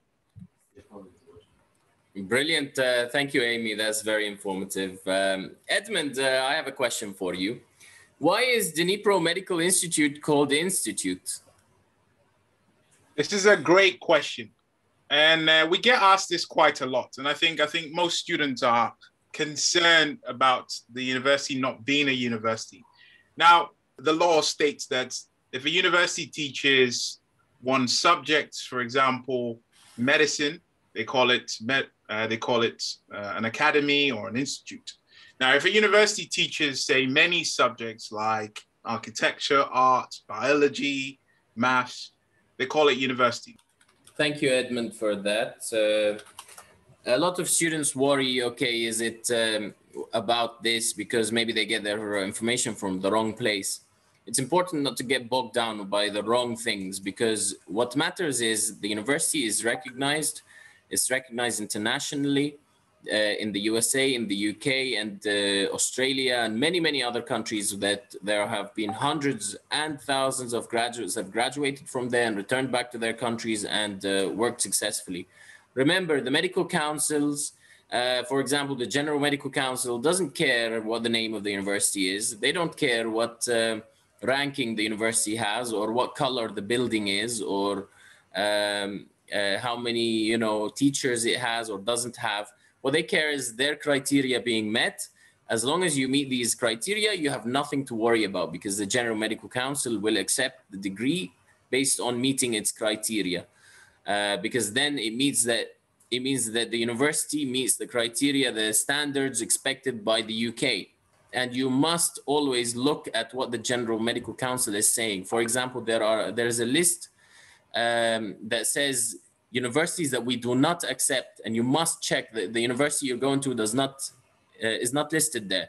And another list is that um, universities that we may accept. This is also the reason for this list is there are universities on there that is very important for you to Google and check for yourself to find this list. Is that, uh, or maybe we'll post it in the chat as well here, so you can firsthand with your own eyes check what it says on that page because as long as the university is not listed there, it means the GMC has not expressed concerns about that university. All right, uh, we'll move on to the next question. Um, entry exam. There's some questions for Aryan about the entry exam in uh, Bialystok. Would you be able to tell uh, students a little bit more, Aryan? Yes, so I've had a few questions so in the Q&A section, uh, and they were all asking how like tough is it to pass the entry exam. I was provided with all the materials by Medlinks, and like I said, I actually applied very late, so I didn't have really much time to prepare for these. I had two days to be exact. So if I'm able to pass the entry exam with with like two days, all the people that are watching now they have months to prepare. Like I said, it doesn't. It really doesn't take all that time. Like they could probably like take like like like like I said, like even me, two days or a week, and they've passed the exam. So honestly, if that's like the entry exam is nothing to worry about. To, like for the medical university of Białystok.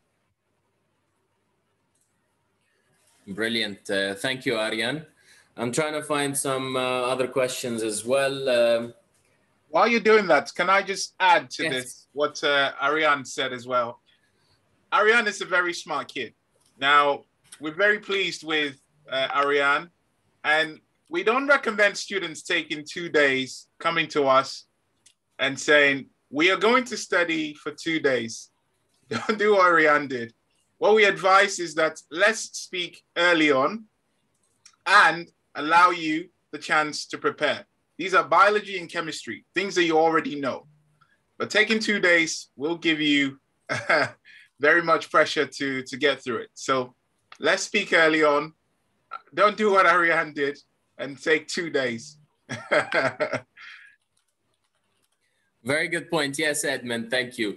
Uh, we want you guys to succeed and you are, it's a huge deal for you to get into medical school. So uh, um, please don't come to us and uh, have the expectation that you're going to pass the exam by just reading one book, for example. You should know your knowledge. You should, uh, you're going to become a doctor. So um, yes, uh, not everyone has the same learning capabilities or the same intelligence, but that's fine. You know, you don't have to be a genius to become a doctor. And this is something that has uh, lots of students have proved to us because they've come and they started medicine. Some people take three months to study for an exam. Some people take one day but you should not compare yourself to others compare yourself to yourself. It's your journey it's your personal struggles your personal success as well. So come to us early don't leave it last minute don't come to us one day before the deadline tell us please help me because of course we would love to help you and we will try everything we can to help you but you must also do your part as well and be proactive start your journey start uh, getting information start making a decision very early. It's already very late. It's almost july. You have july and august and that's it. The september and october is when the universities start. So the deadlines are fast approaching. In fact some universities their deadlines have passed already so don't leave it too late. Um, don't sit on it too long. You already know that you want to study medicine so don't postpone it. Let's get started. We want to help you study medicine. We want you to get started and uh, you're to love it. You're, I'm sure you're to love it. Every single one of our students who's been here on the panelists uh, list has also been very nervous. They've called us every day, maybe sometimes at night. Oh, what's this? I have this question. I'm a bit, a bit worried. I don't know if I should go. Oh, the plane got delayed, you know. But we're here for you. That's why we're here to ensure that you have all the support you need so you can succeed and come to Europe. All right, let's find some more questions then. Uh, by the way, I posted in the chat some information about the maybe accepted list because I know some students ask us about it thinking that it's a good thing that university is listed there, but also I've quoted exactly what the GMC says about the maybe accepted list. So it's important that you read carefully what it says on this page. So you understand for yourself, not listen to what other people tell you about this list because uh, it's, it explains why people are, why universities are listed on this. All right, so next question. Uh, let's see. Um, anyone here sees any question while I'm looking? Because there's so many already. Anything that you guys uh, would like to answer? Um, Alikia as well. Um, there's one for you about India. Uh, can students practice in India after completing medicine from the EU or from Europe in general, not just EU? Yes, so like I was going to take up that question. So uh, like earlier there was this exam which was the medical council of india mci exam that one had to give to even after coming from abroad. And uh, that was the licensing exam. Uh, but now they have uh, like changed the criteria and they have just put a national exit exam which will be implemented from next year that is 2022 and uh, uh, in this exam, like both the Indian students who are in practicing in India and as well as the foreign students who are practicing abroad, both uh, are going to get like equal standards for the exam as well as the criteria for the marks. And after you obtain the marks, your results and getting selected for your postgraduate seats, all are going to be the same and equal for the foreign students as well as the students already studying in India.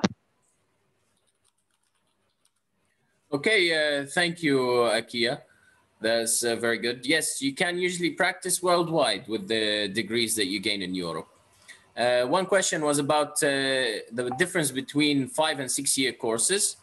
Uh, the five year course is usually a bachelor's course. The six year course is usually equal to a master's course because it's one year longer and includes usually extra studies like uh, the, the junior doctor year usually. Uh, Edmund, I have a question for you. Uh, that's do you advise students to go and do their clinics in person or on uh, not online in their country? This is a great question, and we would always recommend the students do their rotations at the university. The reason we do this is because this gives you exposure to dealing with different types of patients, dealing with as Emma explained, you get to meet stu- uh, patients from different countries that you get to treat.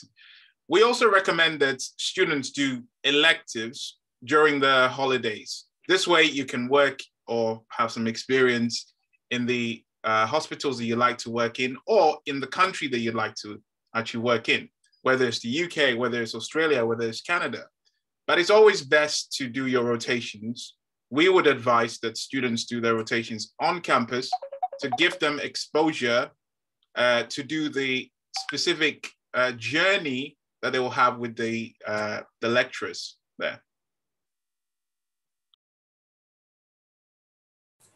Brilliant. Thank you, Edmund. And Amy, what would you add on top of this? Do you think students should uh, do their rotations at home or would you advise, like you did, uh, to come and do it in uh, the country that they're studying in? Um, okay, so I would just say, um, for me, obviously, I'm on quite a low budget. So, uh, for one, it's very expensive um, to do rotations in the UK. I'm sure they are great. And obviously, that was my first option. I love living abroad. I can't actually wait to start practicing in um, hospitals here, like um, doing my clinical rotations here. Um, so I, I think it's a better opportunity to be able to work, do a degree abroad and um, clinical rotations abroad, because let's face it, you're going to go back to the UK and be working in the English hospitals for the rest of your life. You might as well do three years in a different country um, before going to your English. You know, that's that's going to be your career.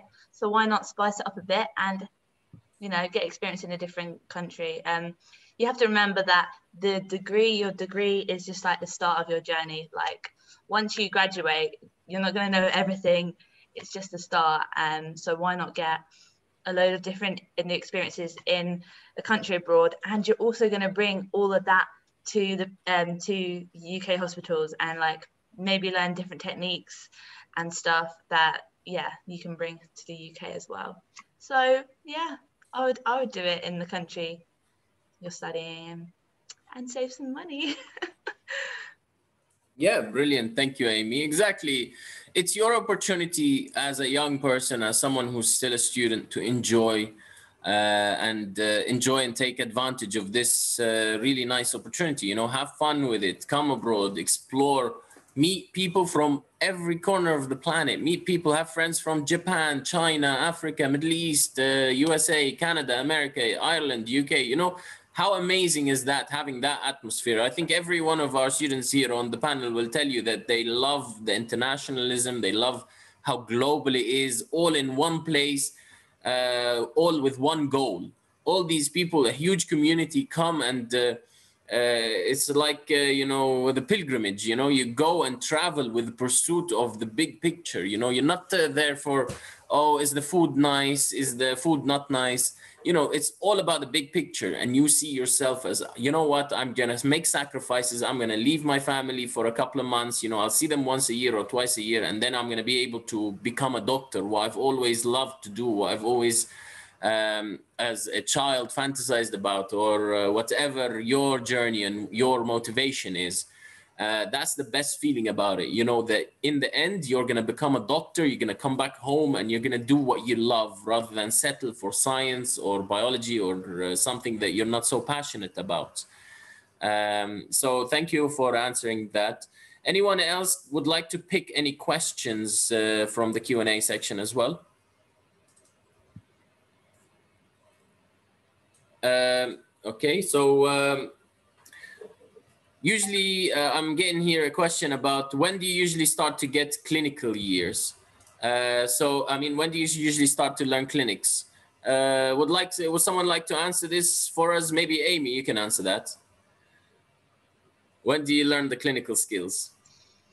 Um, so obviously I've been doing most of my um, learning online. So mainly I've just been learning um, uh, um, so not many like practical skills because it's literally all theory for especially the KROK.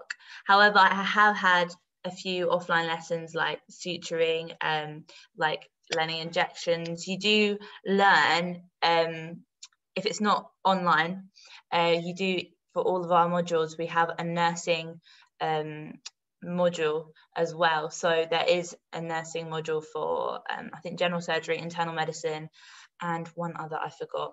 So you do get introduced to clinical skills in third year graduate medicine, um, and then the main clinical skills you are learning in fourth year. So yeah, it's mainly theory in the first three years. Yeah, thank you, Amy. Another question quickly that's come up is from someone from South Africa um, do they need to do an entrance exam in English to prove that they speak English? Usually, it depends, of course. Uh, I know you don't like to hear that. I wish it was a black and white, yes or no, but it depends. Uh, so it's a gray area. It depends on the university. Some universities will accept a letter. What we usually do to work around this is uh, we will speak with the university and try to um, liaise with them to fix this and make sure that they accept that you speak English fluently. Some universities will ask you to do an English exam, but it's an English exam. If you speak English comfortably or even uh, good enough, you can communicate through English, then you should be fine. If you watch movies and uh, go on Facebook in English, then uh, you're not going to have a big issue. You know, a lot of um, our uh, students love memes as well, uh, like on our um, Instagram, which you should check out. Uh, the memes are usually in English, and that usually a lot of students, I ask them, How do you know English so well? They're like, I spend a lot of time on the internet, on Facebook, Instagram, uh, watching memes, watching videos, you know. Uh, so there's plenty of chances and opportunities there available for you. Um, another question I'm seeing here Can someone transfer into the final year of medicine? Um, usually you have to transfer into the fifth year. There is it's rare and but it is possible but it's really rare as well. Most universities will ask you to transfer into the maximum of the fifth year because they want to educate you as well and uh, unless you have a very very specific reason. But uh, this is a very particular question and it depends on the particular circumstances and a lot of factors are involved. So you should contact us and speak to us about this so we can advise you. Um, any more questions that uh, you guys can see that you'd like to answer, just feel free to shout at me.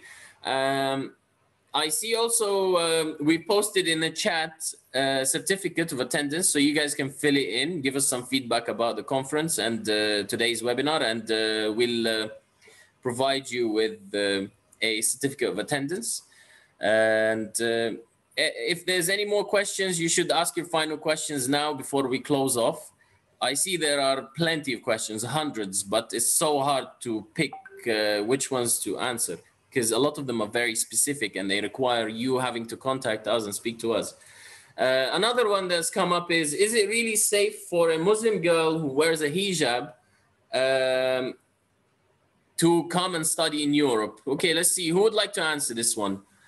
Uh, maybe Rihan, you you come from a Muslim background, right? I think. Well, yeah, thank you, Osman.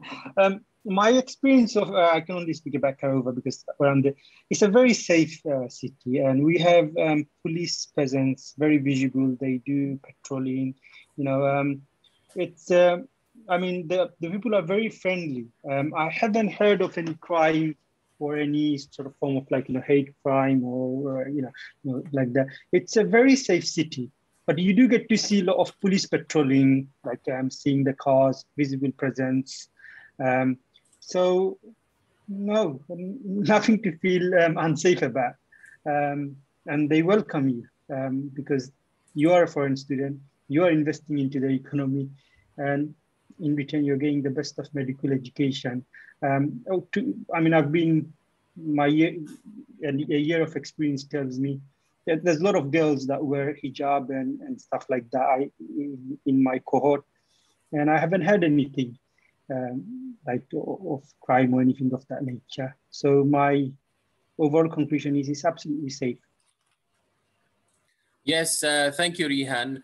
And also for the girls as well, um, uh, Akia and uh, Amy, would you be able to tell us more about safety? Because a lot of students worry because we get people from all over the planet, people that are all sorts of backgrounds and colors, people who are uh, white, brown, black, everything. So people that come from different various backgrounds who come and study in Europe. In general, we've not had any issues with racism, but I would leave that for Amy and Akia, and maybe Emma, you can chip in as well. Akia, just quickly, would you be able to tell us your experience in Georgia? So uh, about this question, I wanted to say that most of the girls and guys in Georgia, they are basically coming, majority of them are coming from Turkish, uh, from Turkey as well as from Iran and Iraq. So most of them are from the Muslim community. And I guess it's very safe in here. And I've never felt like any kind of racism or um, like any kind of problem being a girl here. So that's a bit that I wanted to add. Yeah, brilliant. Uh, thank you. One question we're getting is, uh, I think we, we, may have not uh, spoken clearly about this regarding the rotations. Some students are asking now, do you need to pay for rotations in the university itself? No, you don't. You just pay your tuition fees and that's it. You attend university normal. This is just for the people that want to do something uh, different and just don't want to do the normal program. Uh, or cannot do the normal program. They have to, they are taking a different path at their own choice and they are deciding to pay. No, you will not have to pay anything extra on top of your tuition fees. If you are doing your rotations in a private hospital or a hospital in general, then the hospital will charge you, but not. This is a hospital in the UK, in the USA, a hospital that's in your own home country, not a hospital that's in the university itself. The university has contracts with hospitals or owns hospitals in order to provide you with free uh, rotations. So you don't need to pay if you are doing your rotations in Georgia. You don't need to pay anything on top of your tuition fees. You just pay your tuition fees. That's it. Okay, um, I think that's it. We've answered a lot of questions. Unless there's any more uh, burning questions that you guys would like to answer, we should close off. We would love to answer all these hundreds of questions. I wish we could stay all night, but our students as well, they need to sleep and they have exams to study for. So uh, we don't want to keep them too long here. Uh, thank you all for volunteering to come here um, just simply with the intention of just giving information with no expectations of anything in return. It's so nice of you guys. And I hope our future potential students as well will be like you guys volunteering to give information and uh, help and reassure future students just out of the goodness of your heart, like you have all done. So thank you all, everyone, for coming. Thank you, everyone, for uh, organizing and taking the time out uh, to attend our webinar as well. I hope we found it helpful. I hope you found even one piece of information reassuring and uh, that motivated you to become a doctor, uh, to, uh, to pursue medicine abroad because the path is there, the opportunity is there. It's all on you now the options are so much. There are so much paths so much options so much universities and so much potential that you can have. All you have to do is just take that leap of faith um, and be confident in yourself.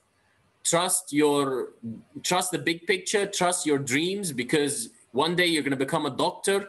Like everyone here, you're going to be on that journey and you're going to love that journey because you're going to be exploring a new culture and it's going to be so exciting because in the big picture, you're to, you're to become a doctor. Don't put it off. Don't just sit on it and be indecisive. Make a choice. Decide that you want to pursue medicine. Let's get started. Get in touch with us you have seen uh, throughout the presentation, there's been these uh, QR codes. So you just scan them with your phone. You can enter our website and submit a form to speak to one of our experts here. And our experts are more than happy to answer your questions at any time. They will always uh, be more than happy to help you and reassure you and give you all this free information that we're giving now because we want to encourage people to pursue medicine however they go, whether they come with us or not if you come with us, you're going to have a second family for you. You're going to have the Medlink family. We're going to look after you. We're going to help you. We're going to make sure that you have all the right support to streamline the process and make it as stress-free as possible. So um, ask all your questions to us. Go on the website, send them off, ask all your questions, and let's get in touch. Let's speak, let's chat. And uh, we look forward to encouraging you and hoping to help you pursue your dream of studying medicine. Here are our, and dentistry as well, by the way. Here are our contact details wherever you are in the world. Uh, hopefully you can call one of these numbers or email us for free. You don't need to call. Uh, and we'll be more than happy to support you and we'll get in touch with you as soon as possible and give you all the information you need so you can make an informed decision on what's best for you. All the information we give will be honest, transparent, and we will be there to guide you because you, it's all about you and making sure you complete your journey or you make a decision on what's best for you. All right. Thank you everyone for joining. I really hope you have a great day and a great weekend as well. And uh, thank you again to our panelists for taking the time out of your busy schedules and busy exam periods as well to join us and answer all these questions. Uh, it's been great. And uh, I hope you guys find uh, found it helpful. Get in touch with us. Let us know your feedback by submitting a form in the chat. I submitted a form for a certificate of attendance. So uh, type there uh, your feedback, send it to us. We'd love to hear from you so we can make the webinars always more and more helpful. All right. Take care, everyone. Have a great evening.